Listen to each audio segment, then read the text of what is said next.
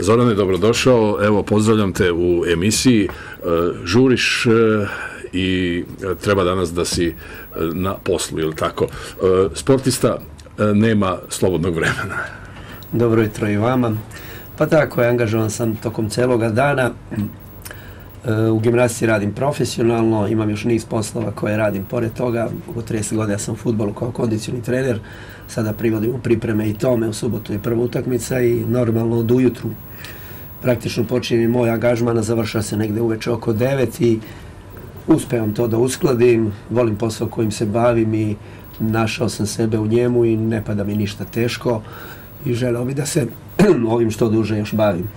I mi želimo naravno da ti e, ovaj i zdravlje posluži e, jer kod gimnastičara zna se ovaj povrede su vrlo vrlo ovaj uh, ovako u izgledu i, i ne mogu, teško mogu da se izbegnu. No, zvali smo te zato da malo porazgovaramo o tvojim olimpijskim danima. Olimpijada je sada, da li je pratiš?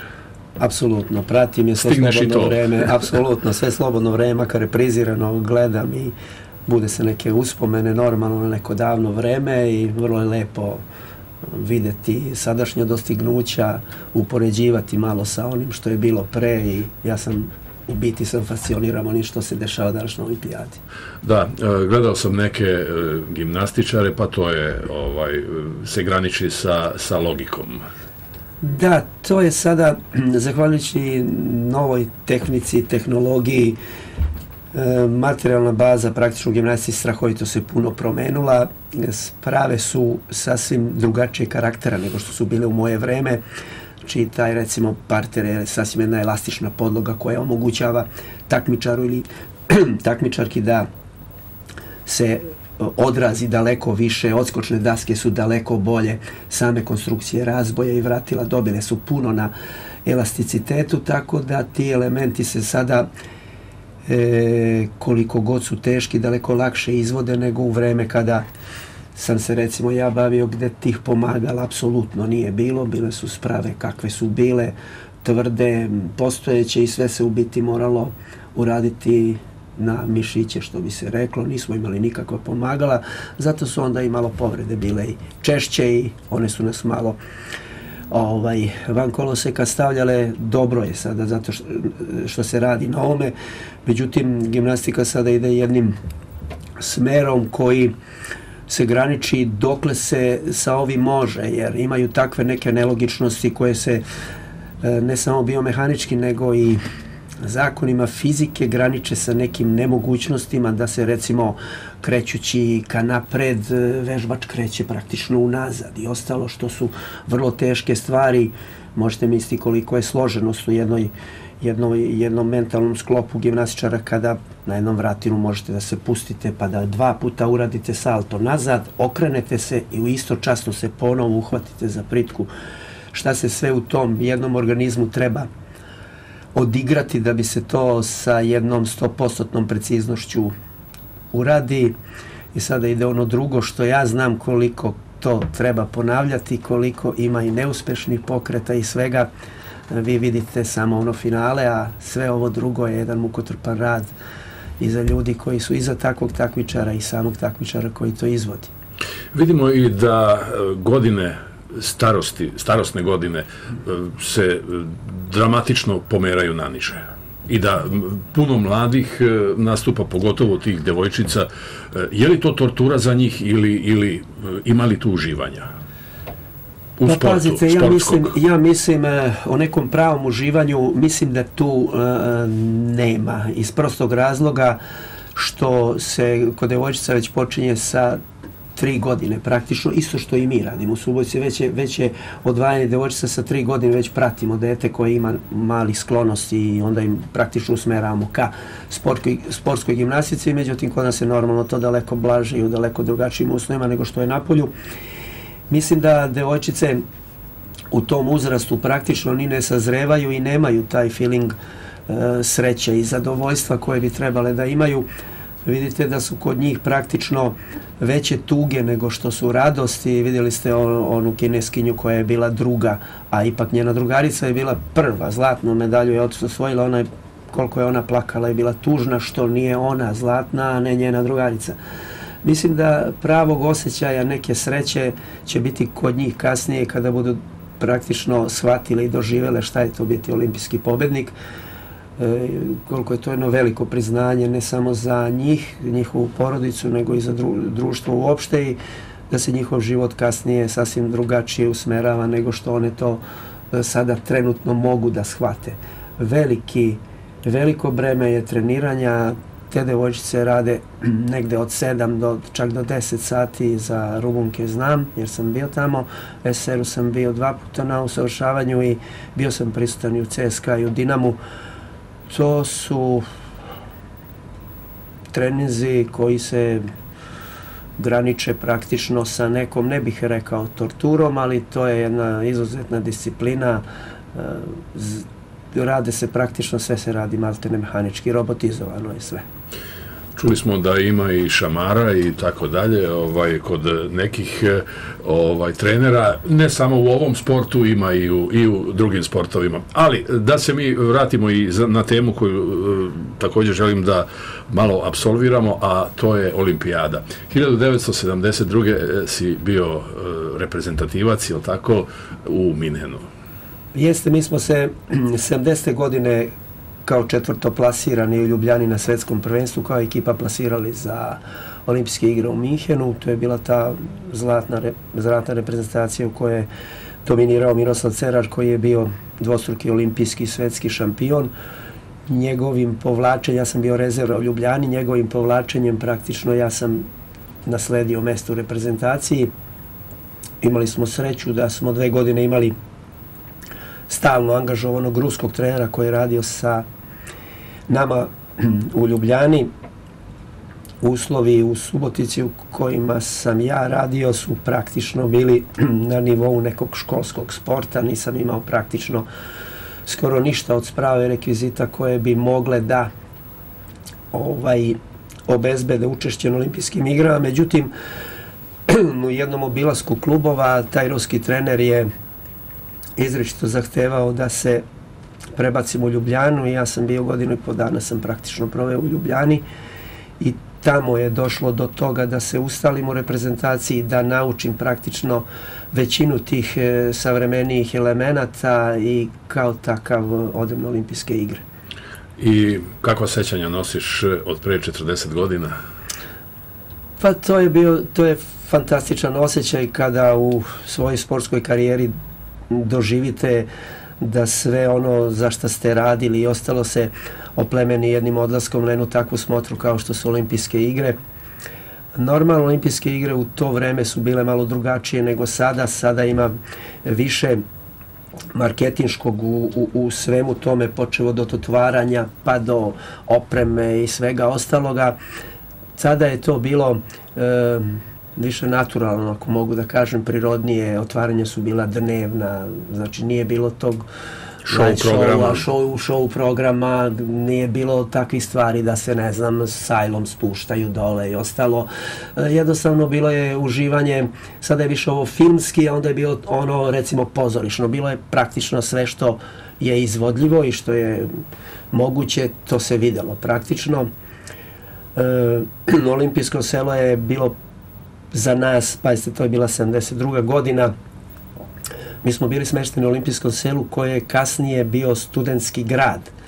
A mogu da vam kažem da je svaki ulaz u, taj, e, u tu, te zgrade koje su bile četvorospratne imao bazen, saunu, malu teretanu i ostalo. To je kasnije bio studentski grad. Kada gledate sa aspekta sada, možda je to i normalno, za 72. godinu to je bilo stvarno nešto što je za nas bilo fascinantno i e, ceo grad je na gornjem prostoru su bile i veštačke reke, veštačku kisu su napravili crkve za sve e, religije na donjem delu, na dva sprata ispod je bilo, u prvom delu su bile prodavnice, shopping centri, a na donjem, na drugom spratu su bile garaže. Tako da gornji deo je bio potpuno bez saobraćaja, nešto stvarno fantastično lepo za to doba Možda sada to zvuči kao trcana fraza, ali je onda to bilo stvarno nešto van serijski. E, jedino je takvu jednu idilu pomutio onaj događaj sa e, palestincima i izraelcima, je li tako? Kako se toga sećaš?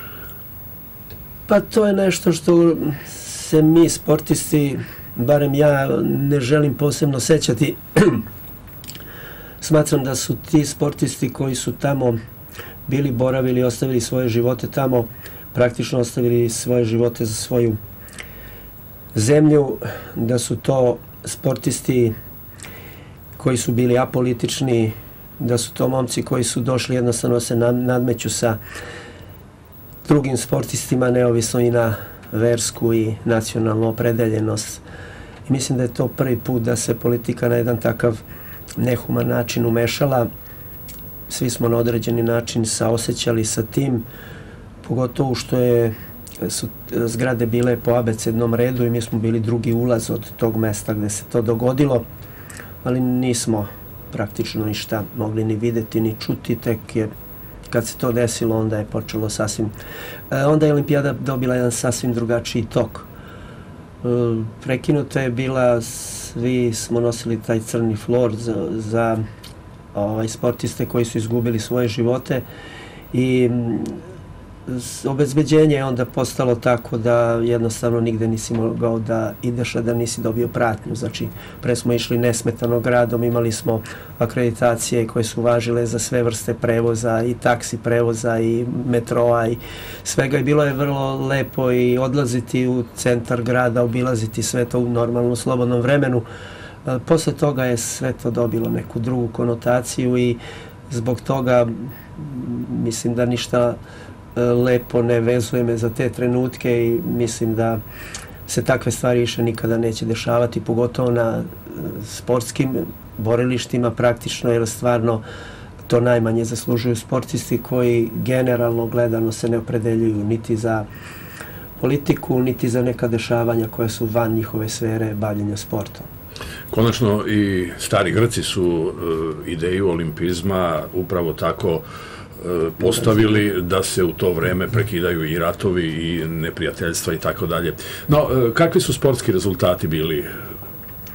Pazite, onda je onda je bila uh, u gimnastici, što se tiče gimnastike, bila jedna uh, uža, uža sfera favorita.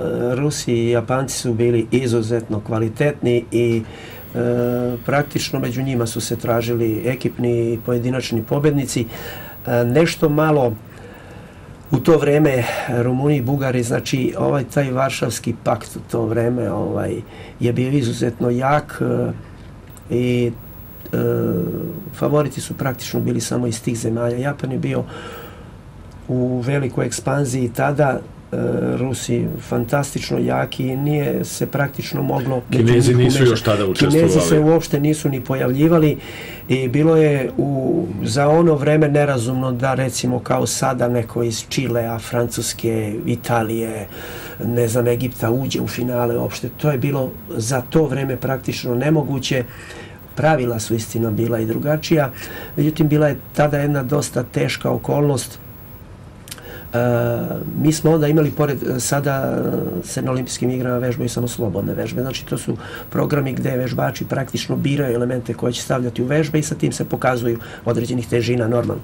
Onda su bili takozvani obavezni programi koje smo radili dan pred. To su bile obavezne vežbe koje je propisala FIGA i svi koji smo učestvovali smo morali apsolutno sve te vežbe podjednako da radimo da bi se na bazi toga kvalifikovali za dale, dalje. Normalno da su predstavnici e, Rusije, Japana imali najviše ljudi u tim tehničkim komitetima gde su mogli da utiču da te vežbe budu izuzetno jake, izuzetno su bile komplikovane i normalno da mi iz manjih sredina su nama te vežbe bile izuzetno teške jer si praktično morao da uradiš generalno isto što i taj olimpijski pobednik, normalno on za nijansu lepše i bolje, ali morao si za tih devet bodova da bi se kvalifikovao sve to morao da uradiš. E, na svu sreću te vežbe posle tih olimpijskih igara su ukinute i nema, nema više obavez, obaveznog programa. To je bila jedna velika poteškoća zbog kojih mnogi nisu mogli da se kvalifikuju olimpijske igre. dominacija e, velikih zemalja kasnije je počela polako da opada, što je jako dobro za popularizaciju ne samo gimnastike, nego mislim uopšte i drugih sportova i danas praktično e, sem Kineza i Japanaca praktično sva ostala mesta su po znakom pitanja i nema jednog velikog takmičenja gde neko sa strane iz takozvanih manjih sportskih manjih zemalja ne uzme učešće u finalu, a vrlo često smo i svedoci da evo iz Mađarske, iz Čilea, da vežbači osvajaju medalje. U to vreme Miroslav Cerar je bio jedan takav uh, izdanak, recimo, iz tadašnje Jugoslavije, Velike Jugoslavije. Miroslav Cerar je zadnju olimpijadu odradio u Tokiju.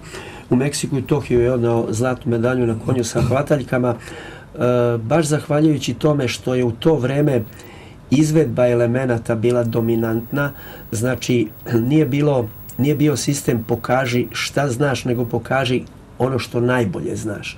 On je bio stvarno fascinantan u tome, e, na konju s imao je nešto što bi se reklo u današnje vreme, e, genetika je uradila svoje, imao je taj duži donji deo i te takozvane, takozvani striževi i ostalo su bili izvedeni na jedan jedan takav način da to jednostavno koliko god je bilo po znacima navoda za današnje uslove lako, jednostavno niko u svetu to nije mogao da prati i niko na, na, ni na približan način nije mogao tako da uradi. Mislim da je to njega izdvajalo u odnosu na ostale takmičare. takmičare. To je jedan od stvarno naj, najvećih gimnačkih rezultata koje je on ostvario. Međutim, kasnije e, povlačenjem njega, povlačenjem jedne, jedne dobre generacije u kojoj sam se i ja nalazio, to je ono što možda ostavlja nekak, nekakvu setu u meni da posle raspada te Jugoslavije sa ovih prostora, sa recimo prostora Srbije, i ja sam zadnji takmičar u gimnastici koji je nastupao na olimpijskim igrama. To je nešto što se meni ni malo ne sviđa i što sam uvek mislio kad sam se opredelio za trenerski poziv, uvek mi je bila neka želja da jednoga dana napravim takmičara ili takmičarku koji će napraviti neke bolje rezultate nego što sam ja postizao. Mislim da je to svakom treneru nekakav ego da napravi nešto iznad onoga što je on kao sportista bio. Eto ja mogu da smatram to nekakvim svojim neuspehom. Ja izgleda to neću uspeti da uradim ima i više razloga. Gimnastika, kažem, je danas materijalno prostorni uslovi su izuzetno drugačiji. Zahtevni. Zahtevni su, mi smo se praktično, ako suzim se samo na Suboticu, praktično malte ne onome u čemu sam ja radio pre, isti su uslovi kao i sada. Druge zemlje su daleko otišle u tome. E, mnogo, mnoge stvari u ovoj naprednoj tehnici, tehnologiji služe, idu u prilog onima da se nalaze kraće putanje kretanja, da se nalaze drugačiji oblici kako da se dođe do tih elemenata. Mislim da dosta kaskamo za tome, na tome i mislim da se gimnastika u našoj državi spominje isključivo onda kada se govori o nekom bazičnom sportu. Meni to sve što ide dalje postaje sve nejasnije jer jednostavno se na njoj praktično nije ništa uradilo što je meni jako žao i mislim da je gimnastika jedan izuzetno lep i kvalitetan sport. Nemojte gledati sve kroz rezultate, nemojte gledati sve kroz te izuzetno teške elemente, toliko toga lepoga ima što se deci može pružiti za jednu bolju spretnost, okretnost, za, jedno, za jedan lep sportski život gde oni mogu sebe naći u tome.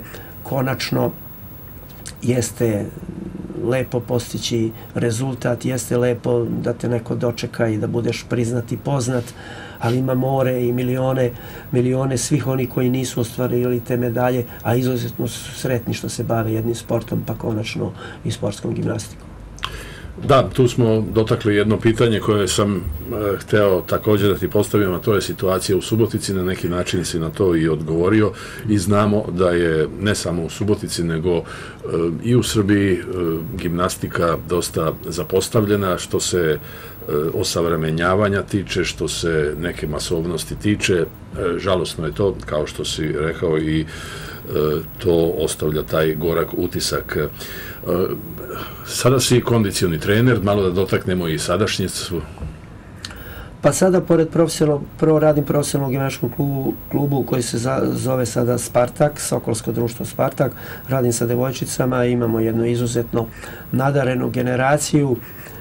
To su devojčice od 10-12 godina sa kojima već duže vreme radim i jedne su među najboljima u državi u tom uzrastu. E, za taj nivo mi imamo kažem, ta baza za taj nivo bavljenja je solidna, toliko prostora i ostalo za te elemente koje one rade, a to nisu vrhunski, mi imamo i mislim da ćemo u tom uzrastu e, i dalje biti jedni, jedni od najboljih u državi.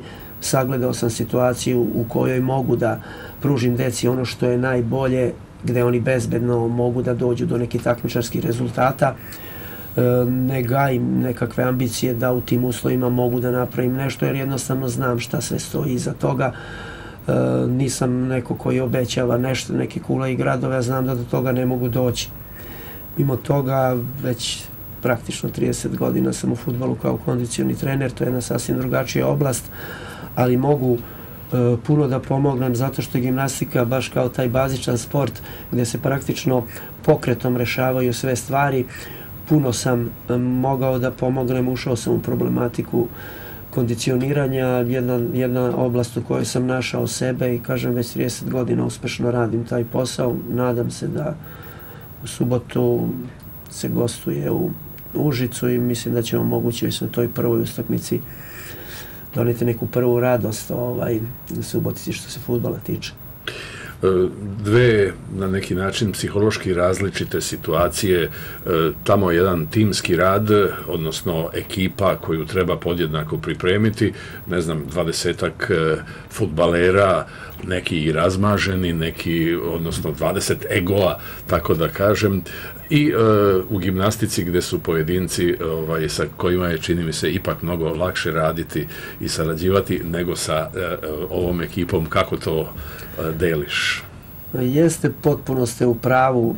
Meni se vrlo često desi da praktično sa jednog treninga moram da jurim na ovaj drugi da bi stigao praktično i e, mislim da mi ta transformacija u nekim trenucima ovaj dosta zadaje problem jer e, što se tiče pojedinačnog sporta praktično tu se toliko identifikuješ sa sportistom, toliko si blizak, toliko mu uđeš pod kožu, što se kaže, znaš mu svaki korak, e, drugčiji je odnos e, prema ličnosti, drugčiji drugčiji je pristup.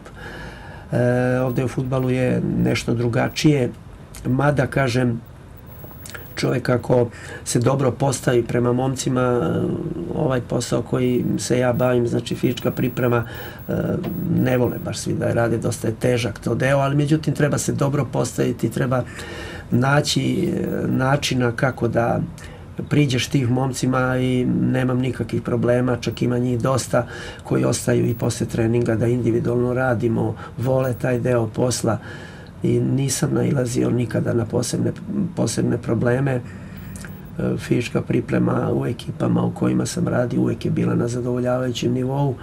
To puno znači jer se na bazi dobre fizičke pripreme mogu temeljiti tehničko-taktički zadaci koji praktično kasnije donose rezultat. Još e, reč dve, e, porodica, hoće li biti naslednika u gimnastici? Pa, e, mi smo praktično sportska porodica, supruga je bila među, gimnastičarka i međunarodna sutkinja, sada je instruktora aerobika. Čerka koja sada već ima, imam i unuka, čerka je bila dvostruka gimnastička prvakinja Jugoslavije, tadašnje, bila je u reprezentaciji, to je jedan lep period koji smo svi kao porodica proveli, sin se bavi futbalom, on je krenuo jednim drugim putem, pa unuk on će nastaviti tamo gde bude izabrao. Nisam od onih ljudi da to ko što je roditelj mora i dete, treba im pustiti da danas, barem u ovoj širokoj lepezi sportova, nađu sebe, ono, ono na šta će uticati sigurno je da ovaj, ga koliko bude mogao odvojimo od ovih savremenih, savremene tehnologije i savremenog načina života u kome dominiraju praktično sedeći, ležeći položaj gdje si praktično na zatvornom prostoru najveći deo svoga života da se bavi nekim od sportova, da nađe sebe, da to druženje, praktično živo druženje, ne samo preko interneta i ostalo što se danas je postala jedna tradicionalna moda, protiv koje se baš ne može tek tako ni reći da to ne treba, jer to je jedan normalno savremeni trend života, ali mislim ako se bude bilo ko od njih našao više u sportu, da to neće zažaliti, da će da im to biti jedan od kasnijih temelja za postavljanje nekih svojih stavova u životu za dalje. To može da bude e, dobra poluka i dobar apel i poziv i za ostale mlade koji žele u zdravom telu zdrav duh, e, znači bavite se sportom, e, to je cilj, tu si da pomogneš na koji način omasovljenje može da utiče ili kako se omasovljavate u recimo tom gimnastičkom društvu? Mislim da smo otvoreni, možda i najotvoreniji što se toga tiče u Subotici imamo dobar odziv, dobar odziv, imamo svakodnevno radimo u gimnaškom društvu, praktično to je zgrada bioskopa Jadran i sve devojčice i dečaci koji su zainteresovani i pre i posle podne, uvek neko nas bude od kolega koji rade u muškoj i ženskoj gimnastici, mogu se javiti, postoje grupe uzrasne za sve kategorije praktično, postoje grupe e, koje se bave razvojnom gimnastikom, sama reč kaže da se razvija, pravilno raste i razvija organizam, mladi organizam, znači nije pretenzija na postizanje takmičarskih rezultata, postoje grupe, selektivne grupe kroz koje deca koja žele da se bave i takmičarskom gimnastikom prolaze, a na nama kao stručnjacima je da uvidimo ko ima nekako kvaliteta i ko ima ovaj određenog smisla za bavljanje onda počinjemo sa njim da se bavimo malo ozbiljnije, dajemo mu više prostora, dajemo e, više ljudi da radi sa njima, dobro smo organizovani i mislim da niko ko dođe praktično neće provesti neko nekorisno vreme jer ako se ne uspe u nekom takmičarskom sportu svakako iza njega rad koji je, je uložen će mu se kasnije vratiti prvenstveno na zdravstvenom e, planu jer vidite da dosta ima i što se kičme tiče ravnih stopala, e, lošeg držanja tela, a nama praktično pola treninga je uvek baš za otklanjanje takvih stvari, a kasnije naslanjamo se na bavljenje i sportskom gimnastikom. Svako ko je došao je dobro došao. Imamo, kažem, i dosta i profesionalnih trenera koji se bave, nije prepušteno ništa slučaju, baš zbog toga što je gimnastika dosta složen i komplikovan sport, najosposobljeniji ljudi, praktično rade sa najmlađim uzrastom.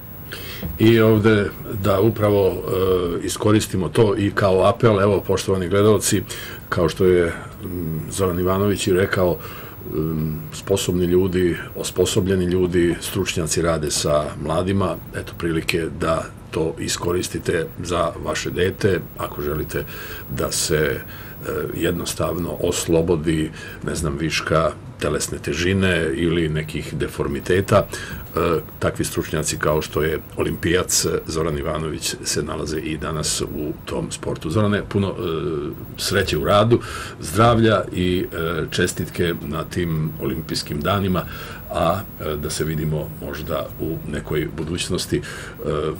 Dosta dugo se znamo, pa ima prilike da se sretnemo i u nastavku naših e, karijera, recimo. Hvala i vama na pozivu. Pozdravljamo te.